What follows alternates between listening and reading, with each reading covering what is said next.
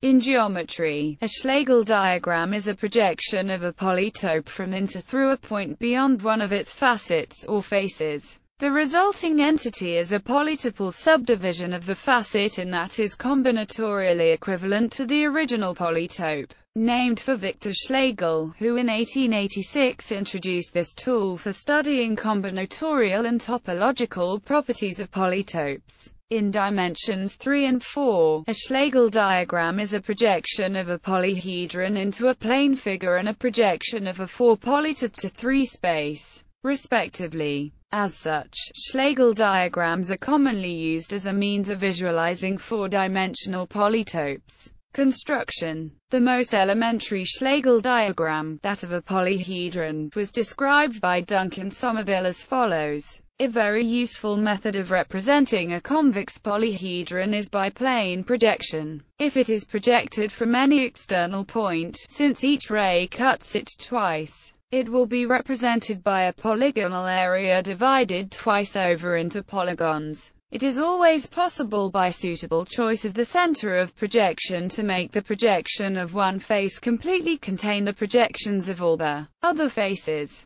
This is called a Schlegel diagram of the polyhedron. The Schlegel diagram completely represents the morphology of the polyhedron. It is sometimes convenient to project the polyhedron from a vertex. This vertex is projected to infinity and does not appear in the diagram. The edges through it are represented by lines drawn outwards. Sommerville also considers the case of a simplex in four dimensions. The Schlegel diagram of simplex in S4 is a tetrahedron divided into four tetrahedra. More generally, a polytope in n dimensions has a Schlegel diagram constructed by a perspective projection viewed from a point outside of the polytope, above the center of a facet. All vertices and edges of the polytope are projected onto a hyperplane of that facet. If the polytope is convex, a point near the facet will exist which maps the facet outside, and all other facets inside, so no edges need to cross in the projection. Examples